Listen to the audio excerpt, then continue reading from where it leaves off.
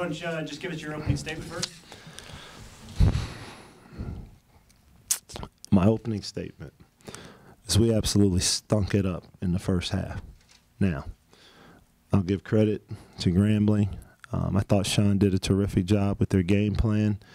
Um, they harassed Mike, they jammed him, they doubled him, um, made some other people have to make plays, and we had some guys that looked like they were handling a baseball or something. It was like they didn't know what the basketball was. Um, 13 turnovers. Mike, too many turnovers in the first half, has four turnovers, no assists. Um, they were more aggressive. Uh, they got all the 50 50 balls. They took balls from us. They, they did everything they wanted to do. And we just were not very good.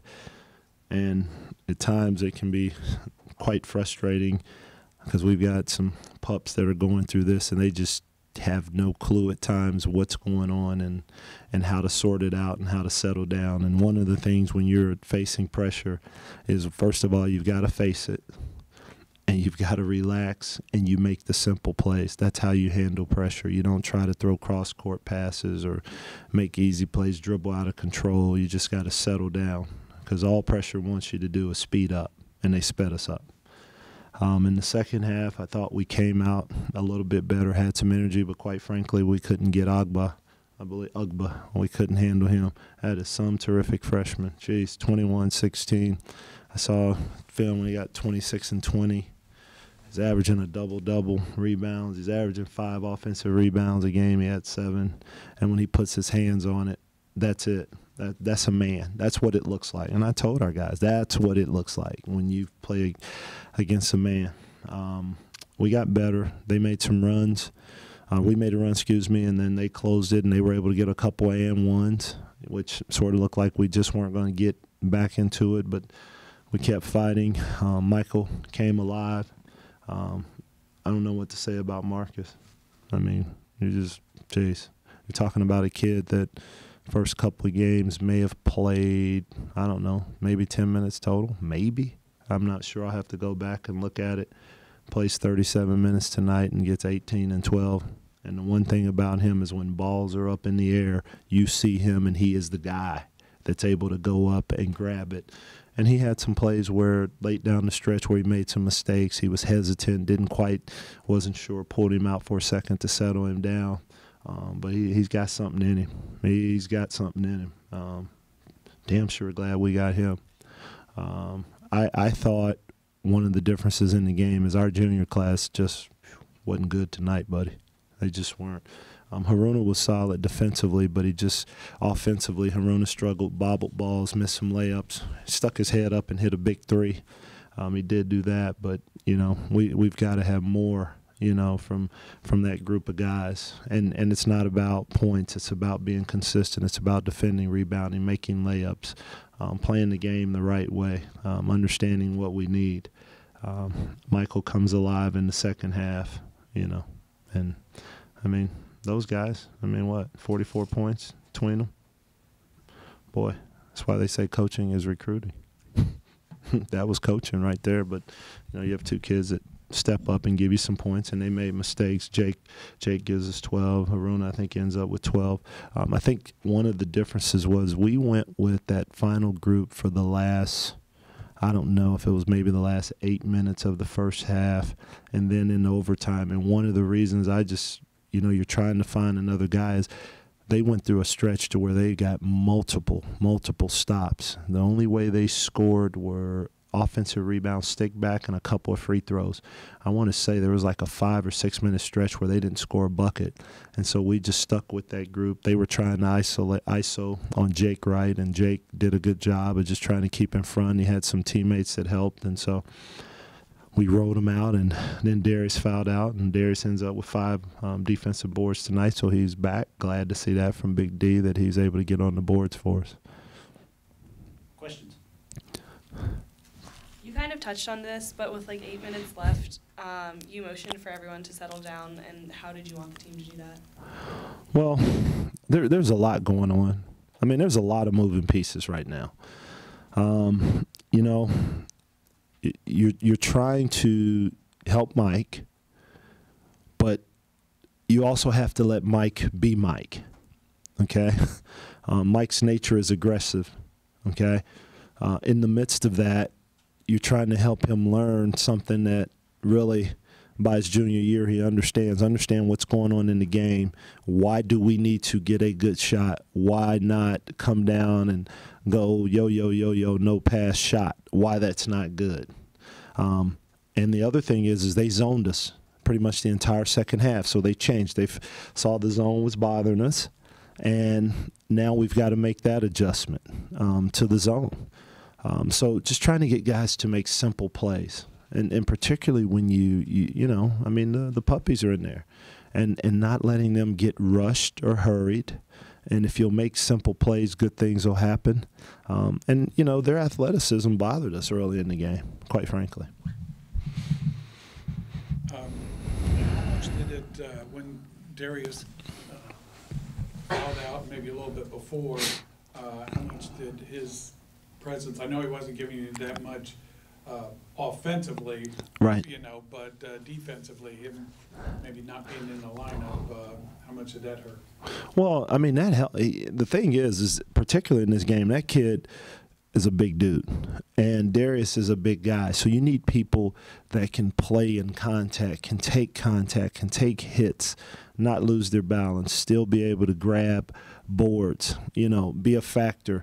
You know, at least control that guy, and get a body on him, and Darius was able to do that. So when we lost D, you know that that affected us. I mean one of the best plays to me that Darius makes tonight is on the offensive end when Mike, I want to say is Mike, Mike throws him a ball when where he caught it was right in front of the bench half court. They were pressing. He could have panicked. He actually catches the ball, faces up. He doesn't panic. He gets it to Dion. Dion ends up making the dump down pass. I believe that's the play. But like that small thing goes unnoticed. But I watched enough guys tonight panic and yet and still he doesn't panic and he's calm and we're able to get a play to me the game winning play was the catch the pass to dion not necessarily dion's pass not taking anything away from dion but that was the play and so when you're able to get that you know from a guy like that and, and doing some of those things the little things a couple of times they're pressing he rolls back he comes back he catches the inbounds pass and he doesn't panic and he doesn't turn the ball over. So those are things that are crucial that you need. Speaking of catching Oh, boy.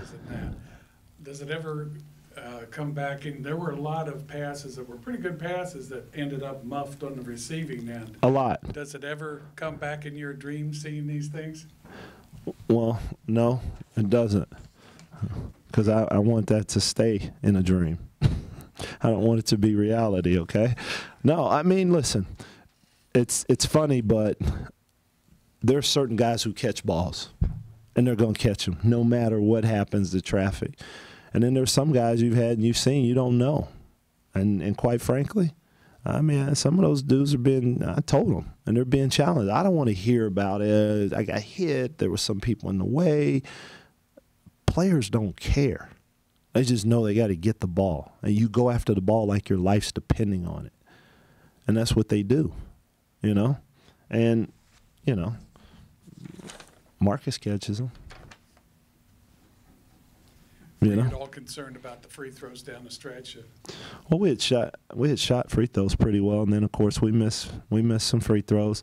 Uh, Marcus misses two, and you know shouldn't have missed two. He's got a good touch, and that's not typically, but you know it's probably the first time he's actually been in that situation at this level.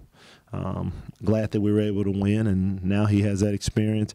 Harouna misses two. That wasn't good, and and just with our luck, of course, after the two, they hit a three from 35 feet. Jesus, I knew when he shot it, it was going in. Just the way it is.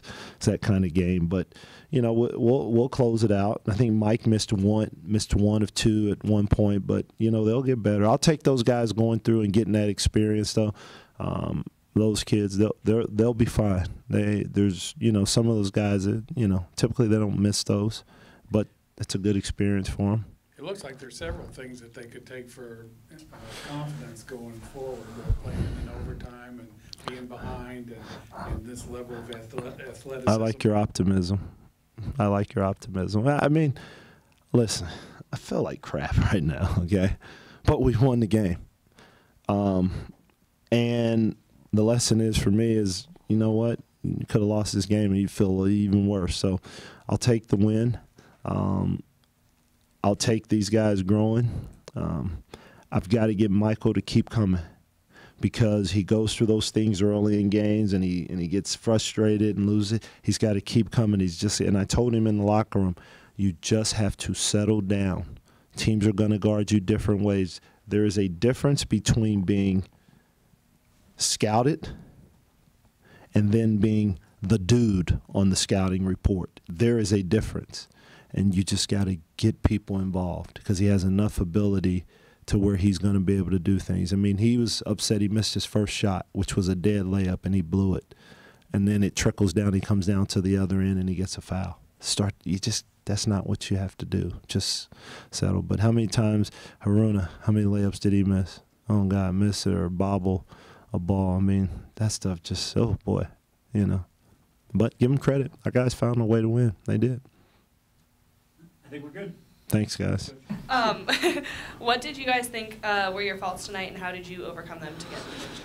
Uh, I felt like uh, our faults came um, from early turnovers. Uh, they were very athletic, so they were speeding us up and getting us out of our comfort zone. Um, we just didn't take our time running the offense, which was uh, one of our faults. Also, uh, matching up on the defensive end was another one because uh, either a bucket or a miss, we didn't really know who we had, so we had to fix those things during halftime.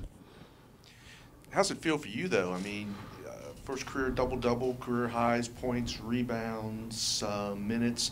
To come up big, that big in a game like that, it's got to leave you feeling pretty good. Uh, yeah, um, the coaching staff just they preach to me every day that you have to bring uh, just something off the bench, energy, uh, going after rebounds, loose balls, just having your nose like in every play, every time. And you know, today I just felt like our team needed a spark, so I just decided to come off the bench and you know just give them that spark that they needed. Speaking of comfort zones, uh, what's your comfort level now, say, as compared to week one? Are you settling in? And what kind of adjustments have you made in your game since the beginning of the year? Um, I would say uh, definitely after the first game and to this game that I've settled in pretty well. Some of the adjustments I've made was uh, learning how to make the easy play. Uh, in high school, I used to get away with like a lot of bad plays, and those don't really fly here. So that's one of the uh, biggest things I've learned. And just another thing was just to bring energy, just be active, have a motor, play hard every possession. Uh, you mentioned their athleticism. It looked like it was, uh, as a team, particularly tough to work inside on them. How was it working, especially against that big number 11? Uh, it was uh, very tough. They were a very athletic and competitive team, which, you know, you got to play hard, play just every possession hard. Uh, number 11, really good player. He's tough. Uh, hustles all the time, grabs rebounds, and it was actually pretty tough scoring on him because he's a pretty good shot blocker, too. Got a lot of young guys out there uh, at various times down the stretch and everything. Uh, What's the, the mindset here of, uh, you know, being in these kind of uh, tense situations uh, with such a young crew? Uh, the mindset is just to stay poised, um, stay in the moment, uh, know what you're in, know what you're running. Uh, don't get flustered at all about anything. What was the difference in the second half defensively? When You talked about talking it out at halftime, better communication on the floor, was that what? Uh, yeah, definitely better communication on the floor was uh, a big thing preached during halftime. Uh, Coach Coop told us that. Coach Coop and Coach Trey told us that we weren't very, we weren't communicating very well on the floor when uh, on transition defense. So that was one of the big things, and also gang rebounding was another uh, thing they preached that we just have to go to the boards because number 11 was going every time. Anybody else? Marcus, thank you. Thank you.